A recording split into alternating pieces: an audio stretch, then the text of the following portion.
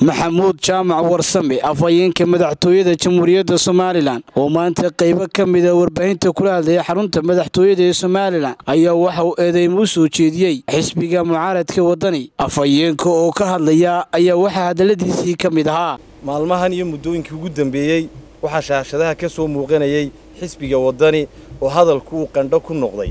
Waxay ka hadlayeen siyaasadda arrimaha gudaha ee dalka siyaasadda arrimaha dibadda iyo amniga dalka oo ay somalilan dhaxalka keliya ay leedahay ay tahay. Muddadii xukuumadda madaxweyne muuse biixi cabdi ay dalkan maamulaysay waxaa dalkan lagu hagayey waxqabad muuqda waxaana la derdergeliyey horumarkii dalka hore uga jiray iyadoo lagu jaangooyey isku filaansho iyo isku kaashi.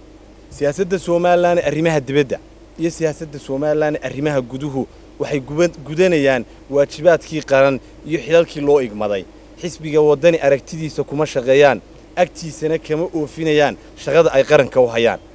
Laakiinse waajibaadkii xilkan ka saaraa ayay ummaddooda ugu adeegayaan. Aragtila'aanta iyo irdhowga ku dhacay xisbiga waddani waxaa ku keenay bisayla'aantii tartankii doorashada. Taana waxaa laga bartaa been abuur iyo hafar. Waddani waxaan leeyahay haddii dhegta la jaro daloolka ayaa hadhaya. Somalilan xisbiyadu way xarbiyeen. Xukunka dalkana xeerkaa mid u xulay. Cod baana lagu xaqiijiyey. Doorashadii madaxtooyadu way dhammaatay. Haddii hibasho kursi iyo halacsi kuu muuqanayo doorashooyin baa dalka soo socda ee bedka kaalay. Kulmiye muddaxileedkiisii hore isagoo laba sanno jooga ayuu doorashadii golaha degaanka oo muddo dhaaf ahayd uu qabtay. Doorashada golaha wakiiladana xisbiga kulmiye wuu qaban lahaa laakiinse guddoomiyihii xisbiga waddani oo marka ahaa guddoomiyaha golaha wakiilada somalilan ayaa labiyo toban sannadood hoggaaminayey aqalkeenna sharci dejinta. Guddoomiyahaasi wuxuu meel marin kari waayey xeerkii doorashada lagu geli lahaa. Wuxuu tahli kari waayey jaangoyntii saamiqaybsiga ee golaha. Wuxuuna awoodi waayey inuu kursiga banneeyo meesha iska casilo hadduu taagiyo maaro u waayey inuu doorashadaa qabto. Waxaa la yidhi nin hadduu seexdo oo soo tooso waa kiisii maantana xisbiga waddani ayaa doorashooyinay dalkan ka qabsoomaan. Hadal iyo hoosiis la hortaagan. Siyaasadda saadka siyaasadda iyo sunnaha xisbiyadu waa sahanka shacabka ee dimuqraadiyadda. Laakiin haddaad ka sasto libta iyo guusha qarankaagu gaadho. Ee ka suurto galay adiguna ugama sukaysid kuwa qarankan sarrayntiisa diiddan ee fadqalalaha iyo fidmooyinka ku wada. Waddani hore wuxuu ugu sifoobay inuu horumarka dalkan ka hor yimaado inuu diido maalgashiga inuu beeneeyo oo uu yidhaahdo waa muhmalya waxaan jirin. Waxaa la meyd maxaa u dambeeya la kaa la sii sido mashruuca ballaadhan ee indhaha caalamka qaranka somalilan ku soo jeediyey ee maalgelinta dekedda berbera shalay wuxuu lahaa ma jirto oo ma shaqaynayo. Waa taa la dhisay waa la dhagax dhigay waa la dhisaya waana la dhaqaajinayaa maalgashi diidkii maantana midab kaluu yeeshay.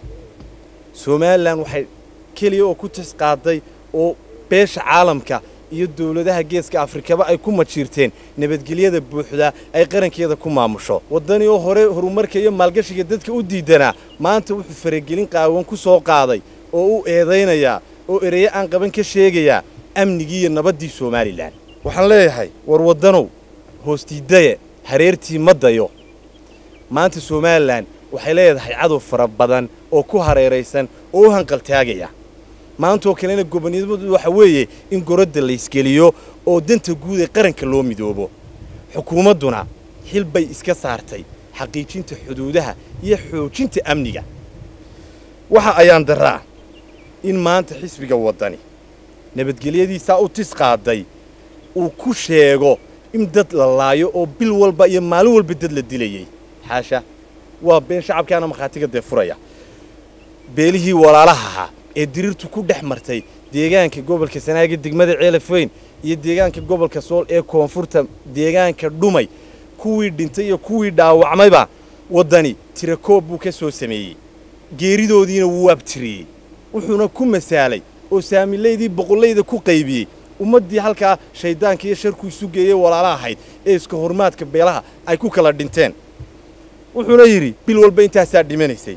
Waxaan leeyahay waa durbaan dagaal iyo dad isku dir. Somalilan kama jirto meel dad lagu laayo. Dawlad dad laysaana ma jirto. Mana dhacayso. Somalilan dhexdeeda in dad lagu laayo inay dad isku dilaan dawladdii loo doortay ayaa xil ka saaran yahay oo nabadgelyada sugaysa. Xogayaha waddani ayaa saxaafadda sidaa u sheegay oo shaaciyey arrintaa. Isagay ku kooban tahay halka uu ka keenay malaa dalkalu joogaaye waa ayaan darre weyn waan leeyahay. Doorkiinnii nabadda beelihii dirirtu dhex martay inaydin gacan ka geysataan oo aydin dhex gashaan horaa u gabteen. Haddaa gabniinkii kaga hurudaan waxba ma ay haateene hadal baa ka daba keenteenoo waa adinkaa tiriyey ee tilmaamay. Waxaa kalood garawyo siisaan maalin walboad meel ka hadashaan.